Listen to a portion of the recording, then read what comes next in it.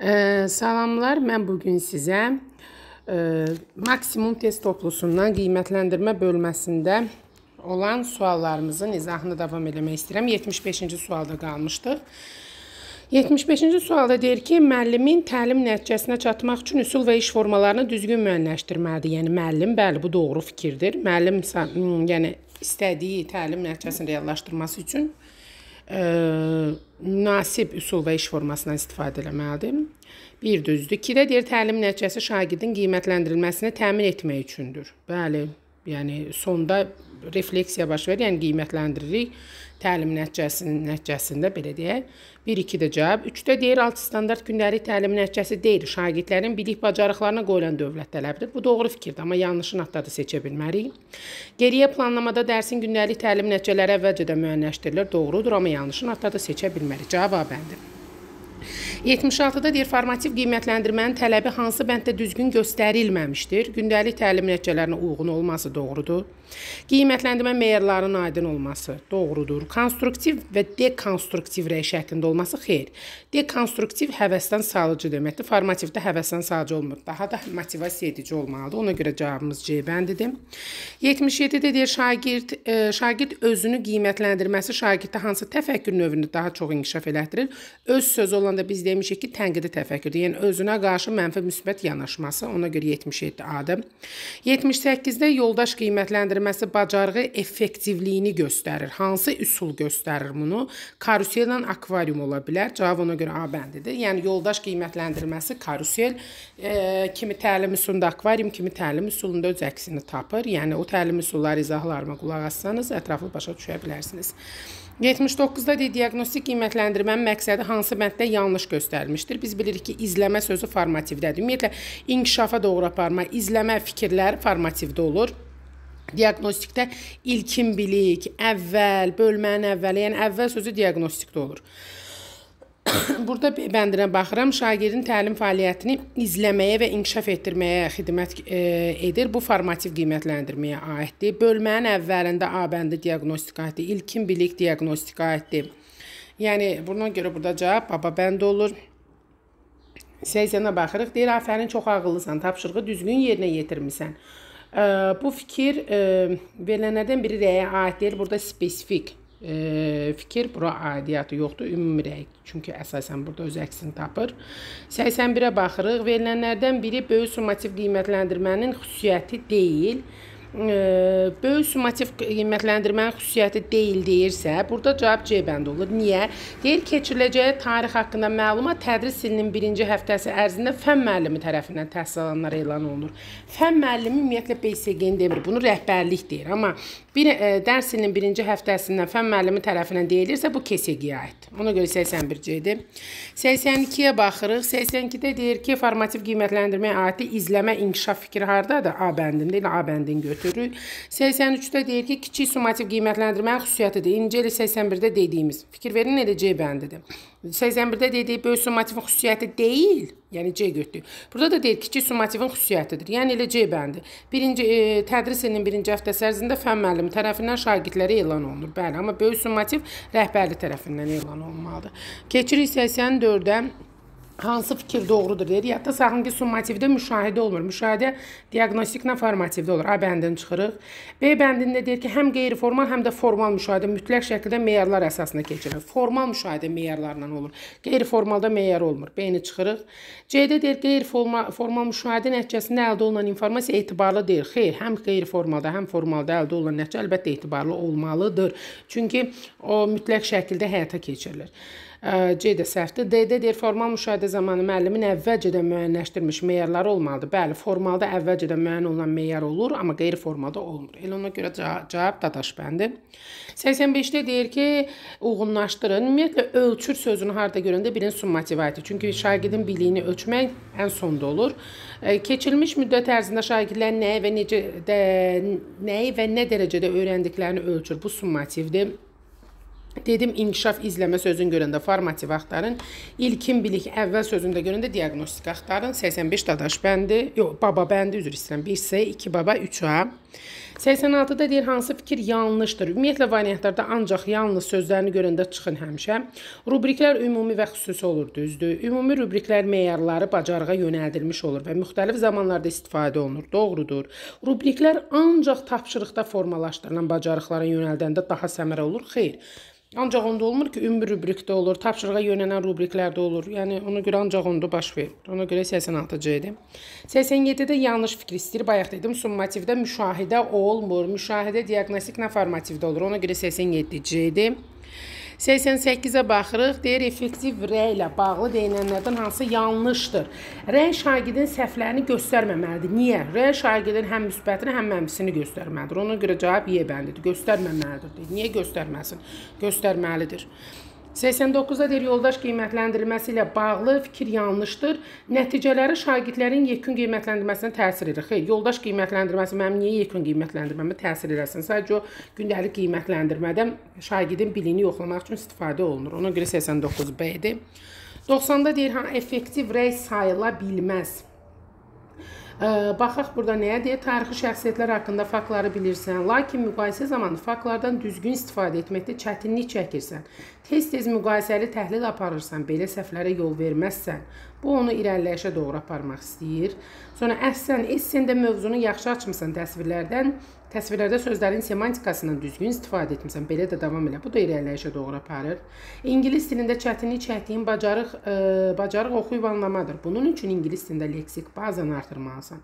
Gündəlik mövzularda 15 söz öyrənsən faydalı olar. Bu da irəliləyişə doğru onu göndərir. Amma D bəndində fərqlidir. Niyə? Kimyəvi tənlik reaksiyalarını yaxşı yerinə yetirsən, kimyanı yaxşı bilirsən, əla. Burada şagirdin özünü tərifləyir, onun gördüyü iş yox. Emosiyalara, emosiyalara yönəlik rəydir. Ona görə 90 D bəndidir. 91-ə baxırıq, uyğunluqla etibarlığı seçin deyir.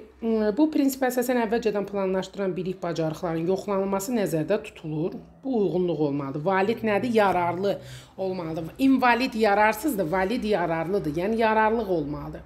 Bu prinsip e, Bu prinsip müxtəlif zamanda eyni mövzu üzrə keçirilən nəticələrin maksimum dərəcədə eyniliyin tələb edir. Məsələn, e, uşaq sentyabr, oktyabrda göstərdiyi nəticənin, yəni e, belə deyək də, bal sistemindən, e, balından, məsələn, noyabrdakından istərsəmə üstə düşmədi. Yoxsa sentyabrda 5 al, oktyabrda 5 al, birdən 2 alması düzgün deyil. Yəni etibarlıq prinsipi bu qorunmalıdır. Bu prinsip əsasən eyni mövzuda fərqli tapşırıqlardan əldə olunan nəticələr bir-birinə yaxın olmalıdır. Ümumiyyətlə etibarlıqda əsasən qiymətləri nəzərdə tutulur. Qiymətlər bir-birinə uyğunluq prinsipi qorunmalıdır. Yəni e, uyğunluq necə? Yəni qiymətlə sənin göstərdiyin nəticədə e, uzlaşma olmalıdır. O da etibarlıq prinsipinə aiddir. Amma e, məsələn D bəndində deyir qiymətləndirmə üçün nəzərdə tutulmuş tapşırıqlar keçirilən mövzuları əhatə eləyir. Yəni tapşırıqlardır, bilik bacarıqlarını yoxlamaqdır. Bunlar hamısı uyğunluq prinsipinin öz əksini tapır. Amma qiymət baxımından etibarlığı nəzərdə tutun. 1 AD-dir, 2 BC-dir. Yəni baba bəndi. Keçirik 92-ci suala. Hansı fikir, e, hansı effektiv rəy deyil? Keçən ay öyrəndiyimiz mövzuları yaxşı öyrənsəydin, kiçik summativdə kvadrat tənliklərdə çətinlik çəkməzdin. Yəni kaş ki deyir. Kaş ki olanda keçmişə yönəlikdir. Yəni o effektiv rəy ola bilməz. Effektiv rəy gələcəyə yönəlik olur demişik. 92A-dır. 93-ə baxırıq. Yanlış fikri müəyyən edin.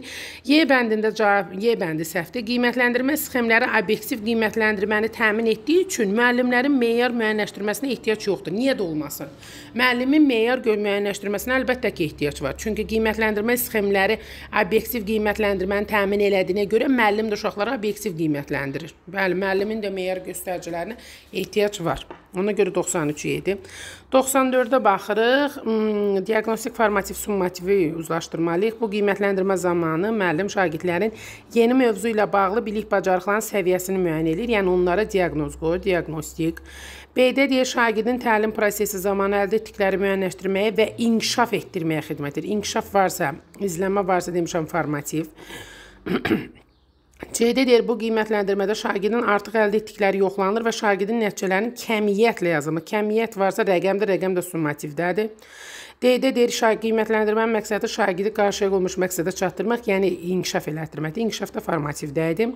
1A-dır, 2B-dir, 3-də C-dir, A bəndi. 95-ci suala baxıram. Diaqnostik qiymətləndirmə haqqında yanlışı istəyir bizdən. Biz demişdik ölçür sözü summativdədir. Ona görə D bəndidir. Qiymətləndirmə zamanı müəllim şagird tərəfindən öyrədilənlərin nə dərəcədə mənimsənildiyini ölçür. Ölçür, yəni artıq baxır görüm öyrəndiklərini necə bilir. Yəni onu summativ qiymətləndirmədən keçirir. Ölçmək, yəni biliyini 9 ay ərzində öyrəndiklərini ölçürəmsə bu summativdir. Düzdür, gündəlikdə də ölçə bilərsən, yəni inkişaf baxımından. Ancaq ümumiyyətlə ölçür fikri summativdə götürülür. 95 dadaş bəndi. 96-ya baxırıq, planlaşmaya kömək edir, tədris prosesinin səmərəli təşkilinə şərait yaradır. Yəni əvvəlcədən mən diaqnoz qoyuram uşağa, onu uyğunda irəlilədirəm. Bu da diaqnostikdir. Şagirdin fəaliyyəti zamanı. Fəaliyyət zamanı deyirsə, deməli artıq bu gündəlik fəaliyyət nəzərdə tutulur. Gündəlik fəaliyyəti formativdir. Bu qiymətləndirmə gələcəyə yönəlmişdir, formativdir, yəni inkişafa doğru aparır, onun e, fəaliyyətini izləyir. Birinci sinifdə bu qiymətləndirmə aparılmır, yəni summativ aparılmır. 1 A-dır, 2 B, C-dir, 3 də dadaş, dadaş elə D bəndi, 96D. 97-də deyir effektiv rəyə aid olanlar seçin. İdraki fəaliyyətə yönəlik olmalıdır, düzdür. Emosiyalara yönəlik olmalıdır, xeyr, ki səhvdir. Qarşılıqlı qiymətləndirmədə istifadə etmək olar, doğrudur, amma yanlışın adları seçənmərəm. Summativ qiymətləndirmədə istifadə olunur, yanlışdır, yanlışa da yanlış dediyinə görə seçirəm. Cavab 1. 1, 4 C bəndi. 98-də deyir biri konstruktiv rəydir. Konstruktiv rəydə biz bilirik ki, vurğulamalıdır. Yəni e, vurğulamalı ki, məhz nəyə görə e, bu fikir.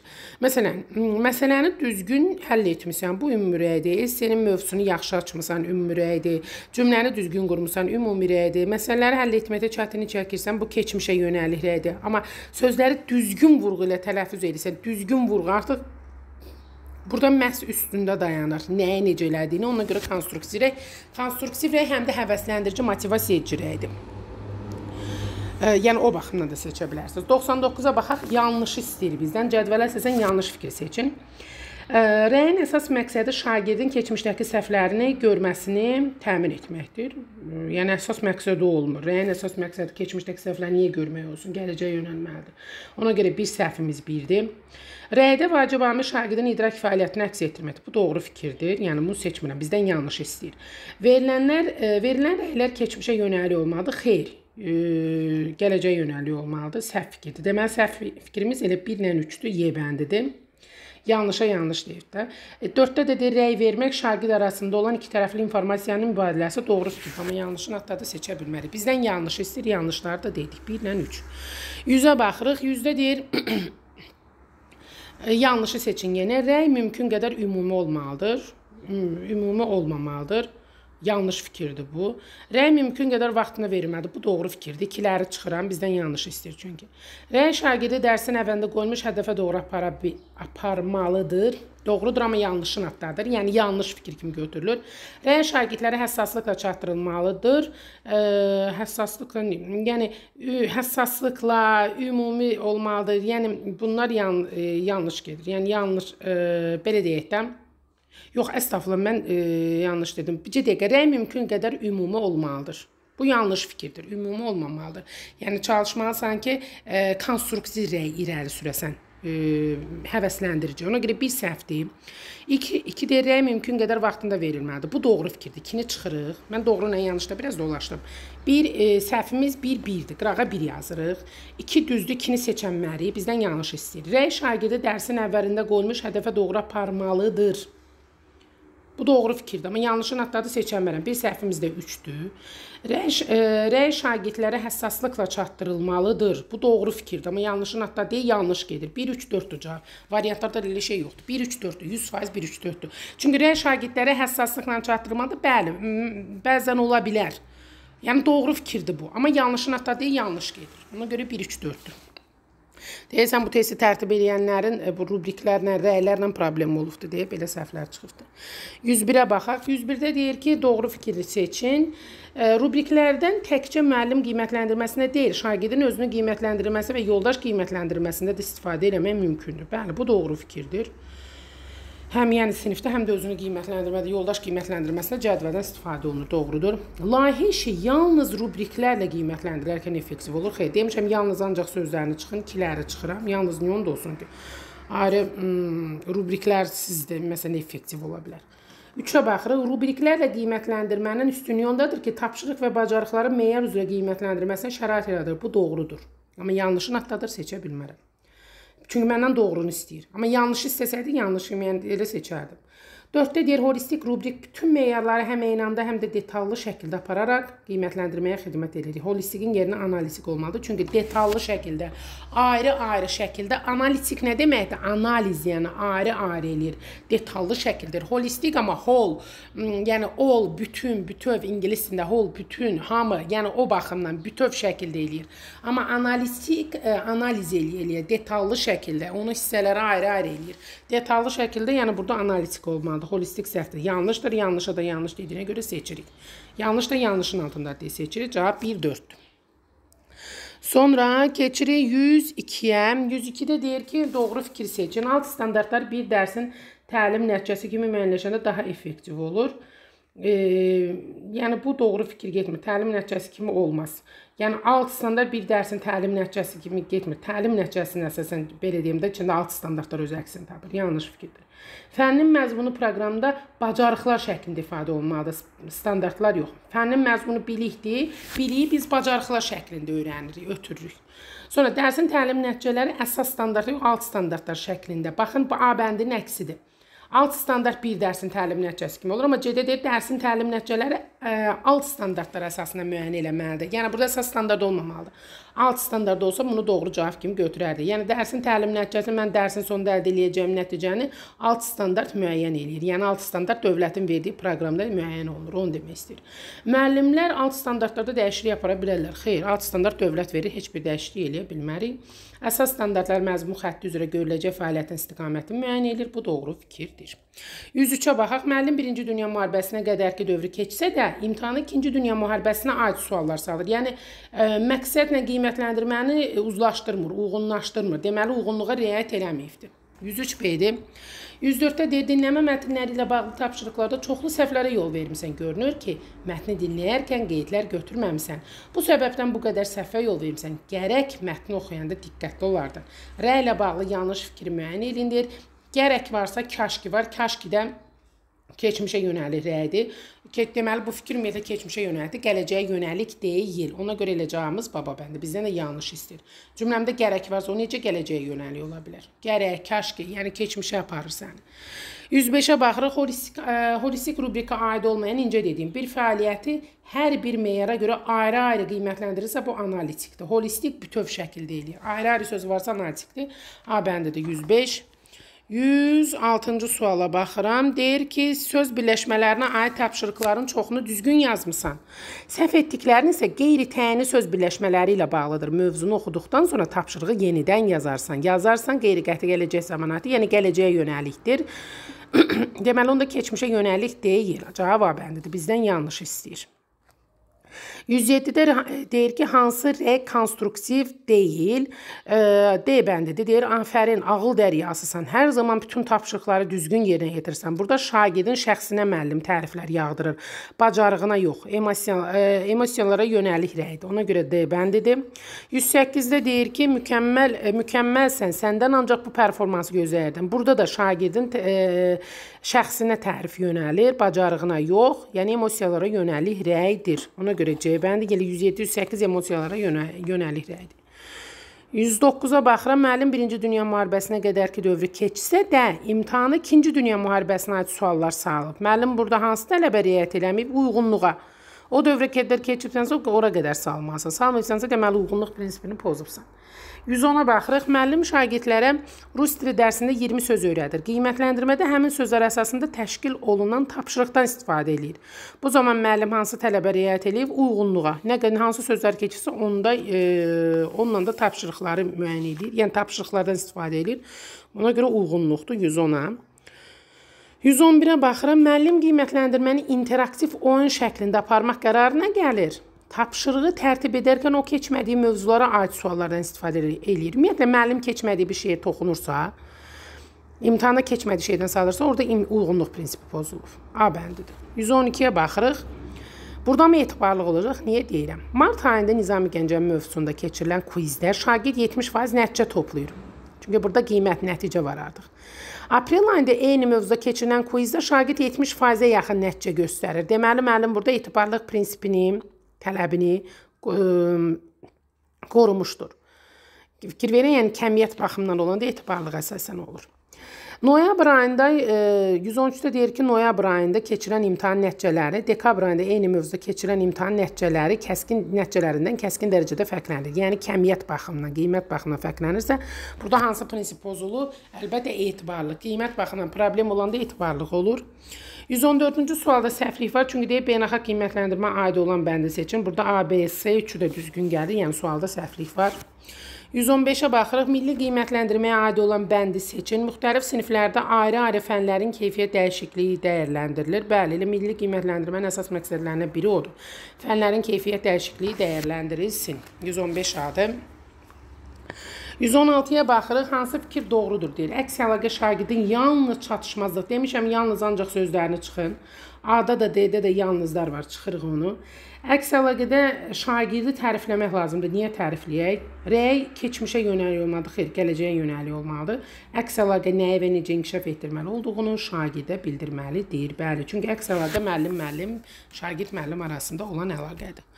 117 hansı fikir yanlışdır? D bəndidir burada cavab. Niyə? Çünki diaqnostik qiymətləndirmənin nəticəsi ilə bağlı müvafiq qeydiyyat təhsil alanın gündəliyinə yazılmır. Müəllimin qeyd dəftərinə yazılır. Yəni rəsmi olan qiymətləndirmə summativ qiymətləndirmədir. Yəni jurnala yazılan odur. Amma diaqnostik qiymətləndirmənin qeydləri müəllimin qeyd dəftərində olmalıdır. 117 D bəndi təhsil alanın, yəni şagirdin gündəliyinə yazılmır. 118-ə baxırıq. Hansı fikir doğrudur deyir summativlə əlaqəli. Üzr istəyirəm. Birinci sinifdən başlayaraq bütün siniflərdə aparılır. Xeyr, bütün fənlər üzrə aparılır. Xeyr, bəzi siniflərdə bütün fənlər üzrə aparıla bilər, hamısında yox. Yarımillik qiymətləndirməyə təsir edir olmalıdır. Əsasən buraxılış imtahanı fənləri üzrə aparılır. Bəli, bu doğrudur. 118 D-dir. Şagirdin təlim fəaliyyətini qiymətləndirən də formativdir. Fəaliyyəti qiymətləndirən formativdir, nailiyyəti qiymətləndirən summativdir. Yaddan çıxartmayın bunu. 119-da deyir ki, diaqnostik qiymətləndirmə zamanı istifadə oluna bilər. Əlbəttə ki, BİBÖ, BİBÖ çünki diaqnostiklə formativ qiymətləndirmədə istifadə olunur. Rubriklər əsasən formativdə istifadə olunur. Düz o birlərdə də ola bilər, ən çox formativdədir, amma 119D-dir.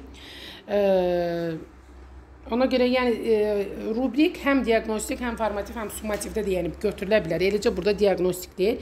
BİBÖ çünki əsasən 90% diaqnostikdə istifadə olunur, formativdə də bəzən istifadə olunur. Ona görə yəni çoxluq çox faiz BİBÖ-nü göstərir. 120-yə baxırıq. Formal müşahidəyə aid olan bəndi deyir. Formal müşahidədə meyarlar əsasında olmaya da bilər. Xeyr, elə meyar olmalıdır. Bəli, e, burada meyarlar mütləq olmalıdır. Və burada deyir, müəyyən olmuş meyarlar qeyd olmuş vərəqdə əks olmalıdır. Bəli, formal müşahidədə hər şey vərəqdə göstərilməlidir. Elə cavab Y bəndidir. Baxan kimi görünür. 121-ə baxırıq. 121-də deyir rubrika aid olan fikirlərin hansı doğru deyil. Özünü qiymətlənmə, qiymətləndirmə vasitəsi ola bilməz. Niyə olmasın? Rubrikdə əlbəttə ki, özüm özümü qiymətləndirmə də eləyə bilərəm. Ola bilər olmalıdır. 121B-dir.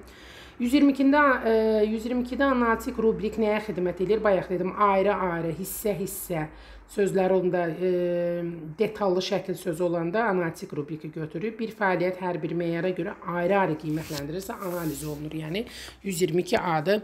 123-də rubrika aid olmayan deyir. Rubrikin meyarları dadaş bəndidir. Rubrikin meyarları elmin yalnız nəzəri hissəsinə aid olur. Niyə yalnız nəzəri hissə? Praktik hissədə də aid olur. Yalnız oxumuruq ki, onu tətbiq də eləyirik. Ona görə dadaş bəndi 123 124-də deyir ki, effektiv rəyə aid olan xüsusiyyəti müəyyən eləyin. Əks əlaqə tərifləmə və ya qiymət vermək deyil. Bəli, bu doğrudur. Əks, yəni əks əlaqə şagird, şagird, müəllim, şagird arasında əlaqə, yəni şərt əsas tərifləmə, qiymət vermək deyil. Cavab elə bəndidir. Verilən nəylər gələcəyə deyil, keçmişə yönəlməlidir, xeyr ilə gələcəyə yönəlməlidir. Şagirdin emosional fəaliyyətinə də rəy verilməlidir. Çalışılmalıdır ki, yəni əsasən gələcəyə yönəliyə rəy verilsin. Rəy ümumi, e, ümumi olanda daha səmərəli olur. Xeyr, spesifik olanda daha səmərəli olur. Yəni xüsusiyyətə yönələndə.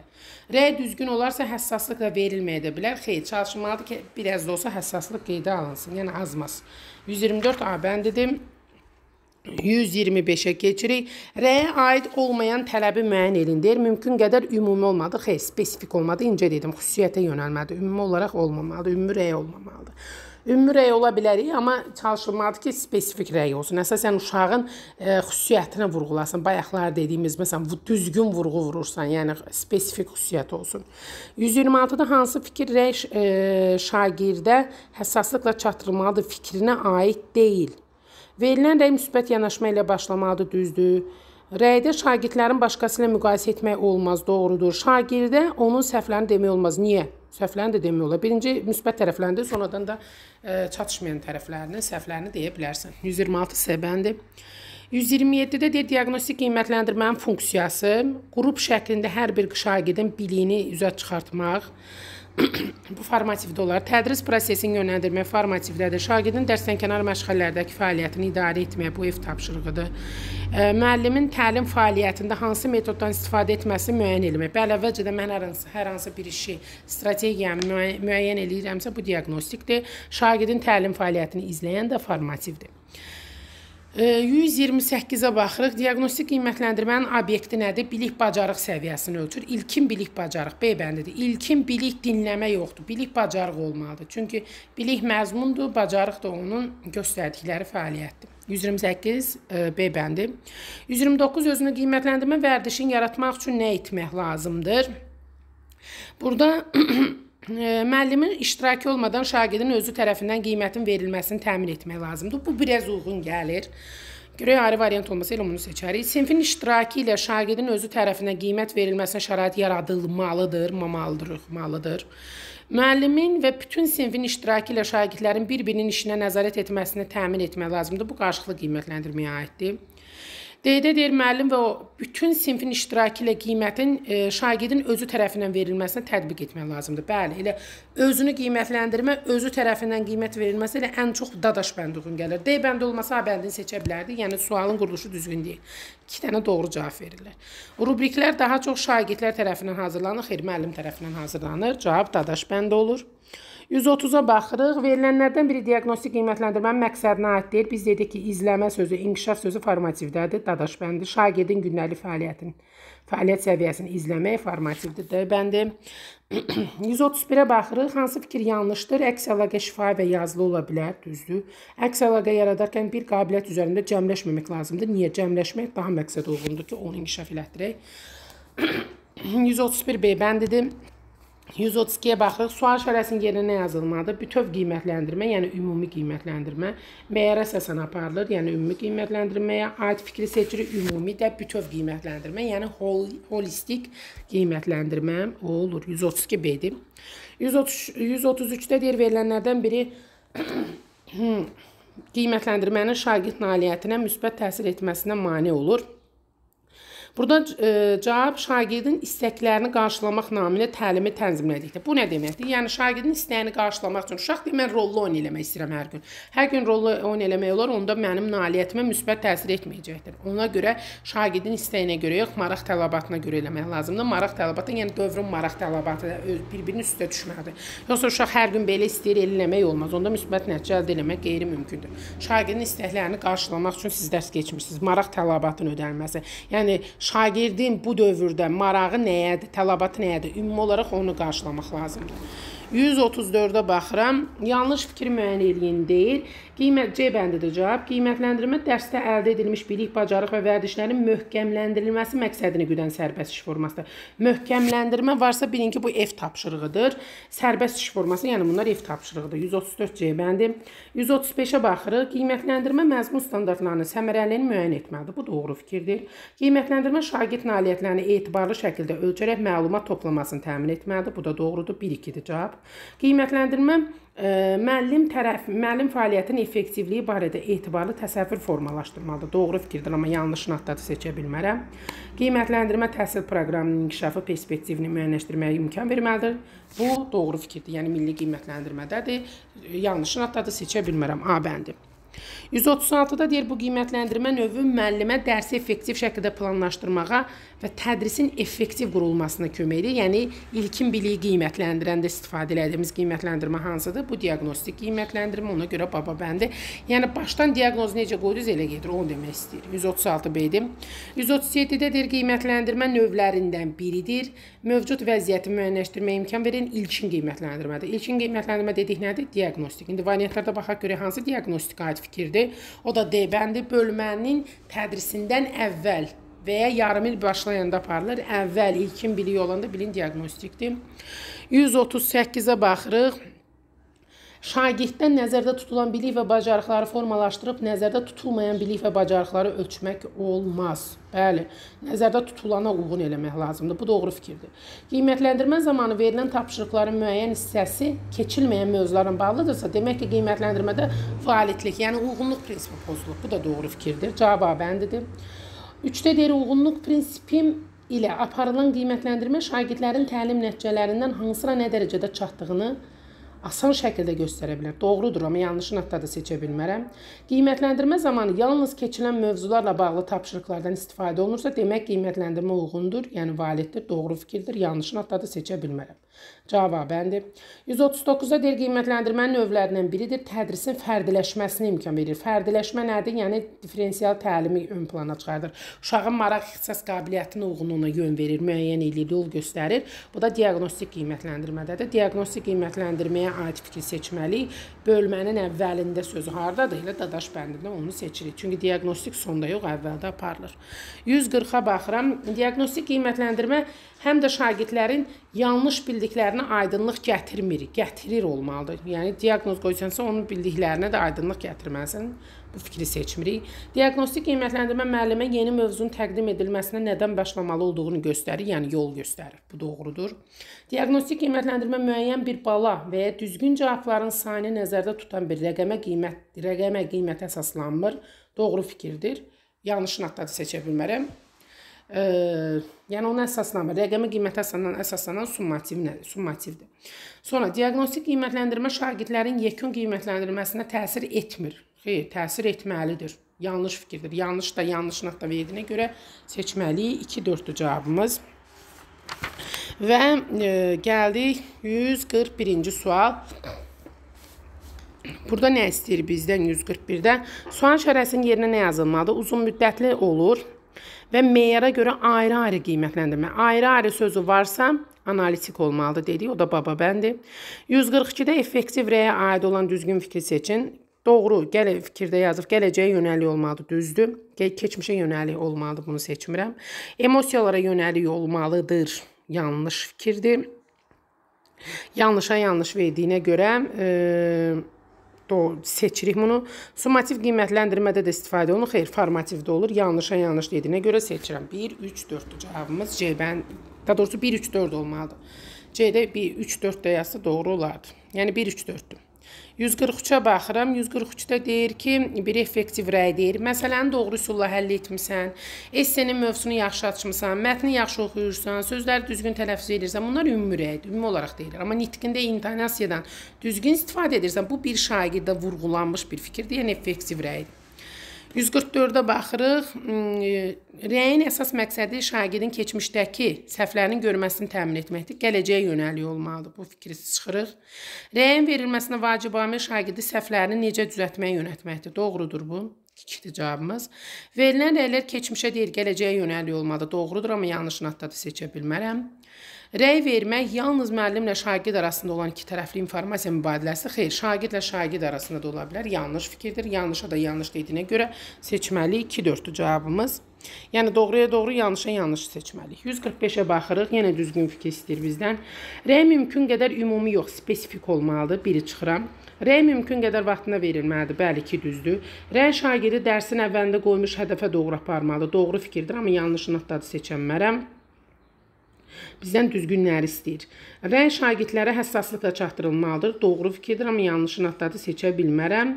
Ona görə 2-ni götürürəm. Cavab C-dən 2-dir, o da variantlarda yoxdur. 146-ya baxıram. Hmm, burada nə deyir?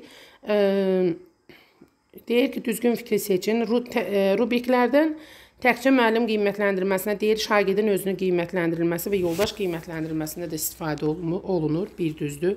Layihə işini qiymətləndirərkən rubriklərin əhəmiyyəti xüsusi olaraq ön plana çıxır. Bu da doğrudur, 1-2-dir cavab. Rubriklərlə qiymətləndirmənin üstünlüyü ondadır ki, müəllimin vaxtında qənaət, müəllimin vaxtına qənaət edir. Şagirdlərə vaxtlı vaxtında lazımı rəy verir. Doğrudur. Amma yanlışını hatta da seçənmərəm. Holistik rubrik isə bütün meyarları eyni anda tətbiq edərək işi ümumi bir mühakimə əsasında qiymətləndirir ümumi olaraq eləyir, bütöv eləyir. Bəli, bu da doğru fikirdir, amma yanlışını hatta da seçə bilmərəm. Bu qədər qiymətləndirməni bitirdik. Uğurlar.